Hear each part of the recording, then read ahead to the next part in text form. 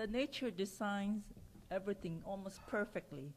That just the amount necessarily needed to produce the chemical transmission between the across the nerve and muscle. So too much of acetylcholine uh, can produce what we call cholinergic crisis uh, because uh, uh it, it, it, chronic too much of, uh, uh, of um,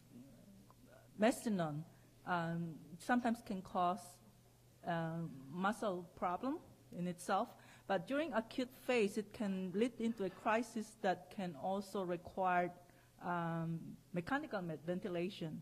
So sometimes the, the, the, symptoms are very similar. You can have excessive secretions. You can have, you know, uh, heart rate, the way that we usually check, if the heart rate becomes too low, uh, we say, oh, maybe that's due to too much of the, uh, uh of the uh, mestinon. So uh, one has to be careful because the tendency when the myasthenia get start to get worse, patient will start self-medication. I'm going to take more and see whether I can get better. Um, but they should, they should know that when you have to keep taking more, it means to say your immune system is acting up, that it may not be enough. You cannot just keep taking more and more because you can push yourself into cholinergic crisis. Yeah, basically your if you have too much acetylcholine at the neuromuscular junction, basically your nerve keeps firing, firing, firing, it does never shut down.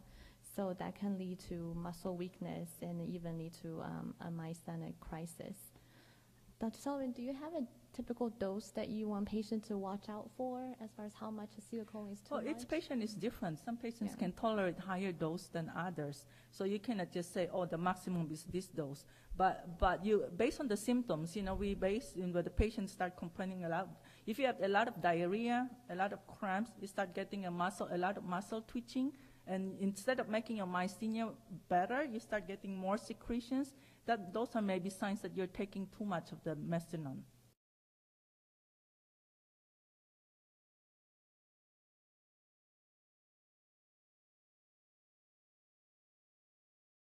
Incontinence is not a commonly described symptom in myasthenia, but there are reports in the medical literature of patients uh, with myasthenia and have urinary incontinence and what we call atonic bladders.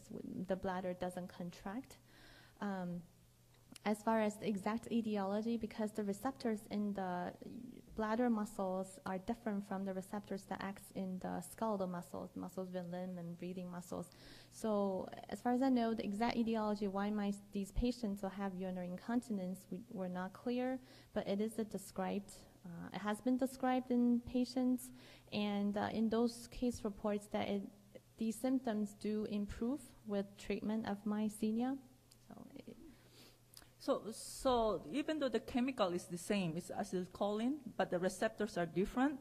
So presumably, if we take a lot of too much mestinon, sometimes patients will notice that mm-hmm. they have urinary frequency. Okay, they have to go frequently. Uh, so sometimes it's the opposite instead of, uh, uh, it's urinary incontinence from, from not being able to get there soon enough because they have uh, uh, frequent urination, okay? Uh, so, so it's like having diarrhea as a side effects of the too much mestinon.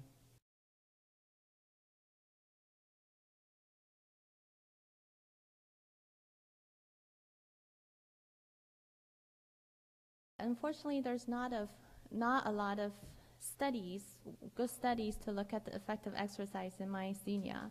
Um, but what I would recommend to patients is that they usually, first of all, your myasthenia has to be stable to, to undergo an exercise program. And then the exercise that, you, the type of exercise you do should be uh, low impact exercise, things like uh, a stationary bike or elliptical instead of, you know, running for miles and miles. Um, another rule of thumb is that you should, uh, you know, listen to your body. If you do a type of exercise for a few certain period of time and you find you, there's a lot of muscle soreness, cramp, and trouble breathing, that probably you should stay away from that type of exercise or the, the length of duration for that exercise. So listen to your body. Um, uh, type of exercise such as resistance training, stretching exercises, um, and uh, such as stationary bike or elliptical are the good ones to start. And aquatic exercise in the water would be good ones to start with. So, so the one thing I tell my patients as far as exercise is where they can do weights with dumbbells. I don't want them to be lifting weights while they're lying down because they get arms get fatigued, they can get into trouble. And although some patients, uh, I have one patient is a policeman who's very stubborn and still wanted to do that. Uh, but you can imagine if your arms get tired, then the whole thing can come into a, your windpipe, right? So uh, I agree that low impact exercise will be better.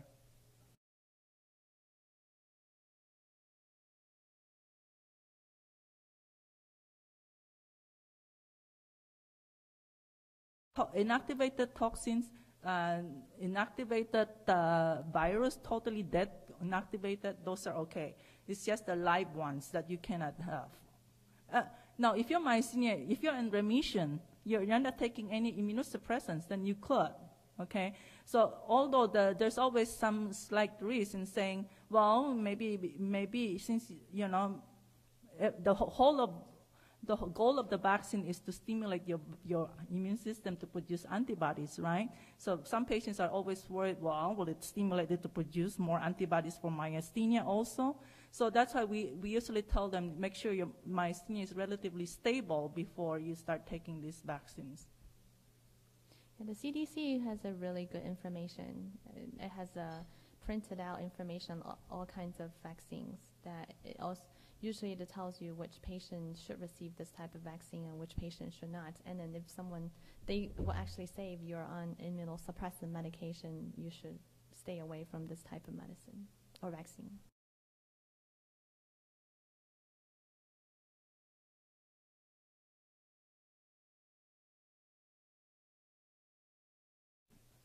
So it depends on the uh, it depends on the kind of thyroid problem you have.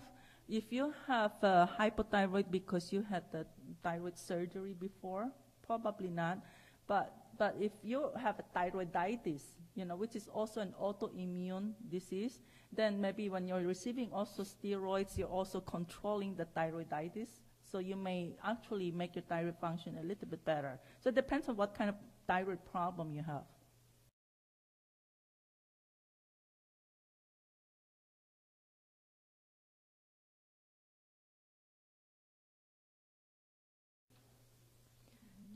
So it's methotrexate has been used in myasthenia usually for patients who fail other immunosuppressant.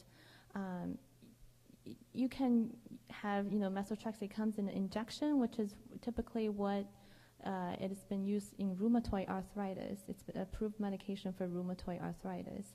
And I think the, the trial that Dr. Pascuzzi uh, talked to your friend about is the the trial that they're actually using oral medication of methotrexate for uh, refractory myasthenia patients. Um, like I mentioned in my talk, that so far uh, it's been found to be well tolerated. And some of the side effects that you do need to monitor liver function when when someone's receiving methotrexate and and you make sure that you have to have a PPD test, make sure that it's you don't have TB or latent TB, tuberculosis before you start the medicine.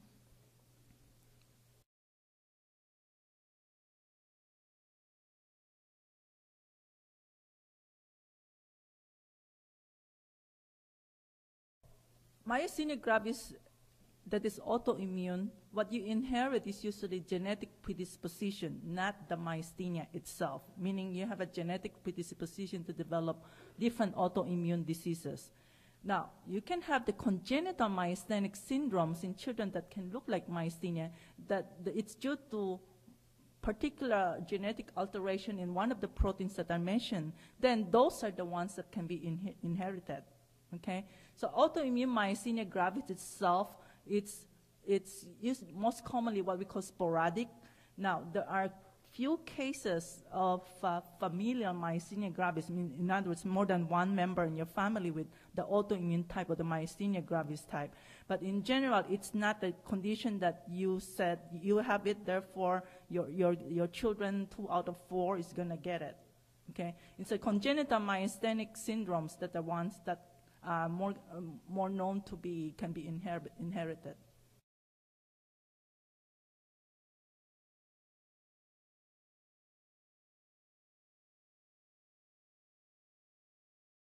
Some patients may present um, years and years after they've started having the symptoms for, for whatever reason, uh, no having no access to the medical doctors or you know the diagnosis can be delayed uh, for many years. But we know there are two group of patients who tend to have myasthenia. One is the younger patients, and in that, that group it's the younger, the female patients.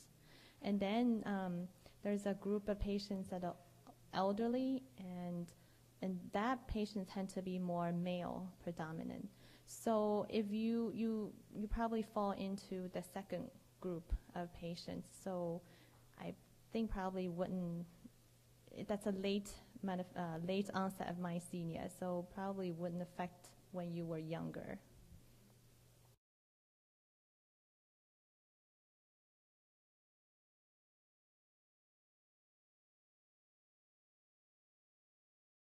It's, if it's medication-induced steroid, know, I have had patients who their diabetes gone once steroids stopped, or even reduced to a minimum amount. Of course, that doesn't mean that you know you have to eat whatever you want. You can eat whatever you want. And, you know, still a healthy lifestyle is required. So in terms of a question earlier about nutrition and, and, and myasthenia, that's one area we're in. And to somebody on stero- steroids, you have to watch your diet. Uh, in other words, it doesn't have to be necessarily, um, you know, you just have to make sure that uh, you cut down on the carbohydrates in your diet. And uh, uh, in order not to stimulate, you know, steroid can induce your, ap- it can increase your appetite, right? So you have to avoid sweets because sweets usually stimulate your appetite. So unfortunately, you have to make your diet a little bit more blunt, higher protein, lower carbohydrate. And that can sometimes uh, lessen the, the, the amount of weight you gain from steroids.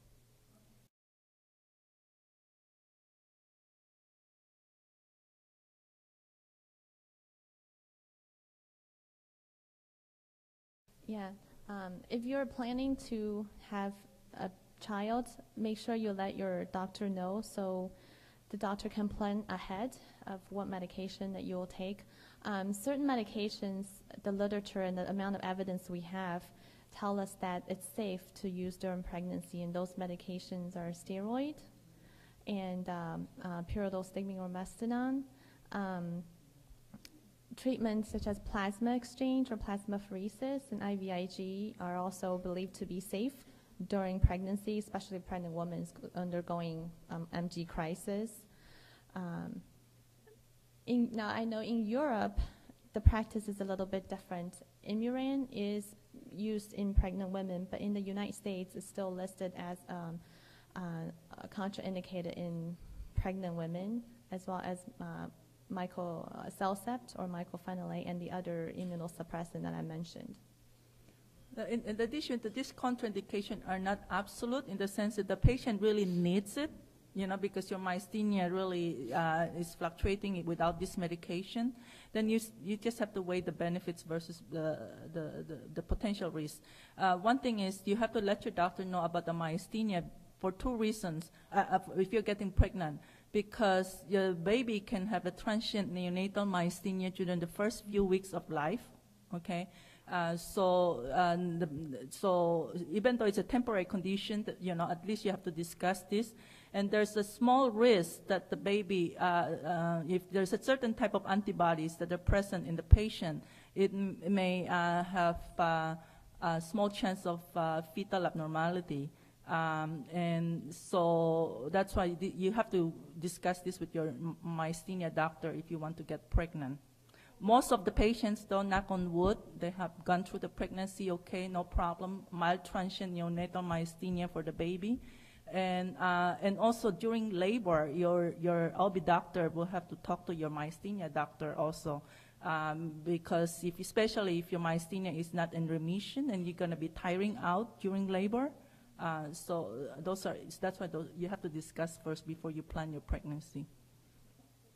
I would use the safest drug possible uh, to minimize the adverse effect on the fetus. So those would be um, pyridostigmine. If, if that's not enough to control the symptom, then uh, steroids.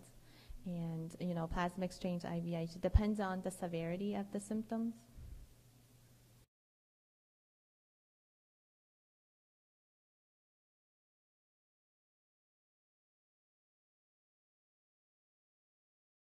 Neck pain may or may not be symptoms of MG because some patients may, if they, if you have neck muscle weakness, you know that you feel tired when you're holding your head, they can explain, uh, they can have some uh, soreness on just from trying to hold your head up. But if you don't have problem with your, you know, any problem with double vision, chewing, swallowing, or neck muscle, it's just arm weakness, that may be from something different, you know, uh, like pinch nerve in the neck. You know, so your doctor will have to do the workup and see whether that's related to myasthenia or not.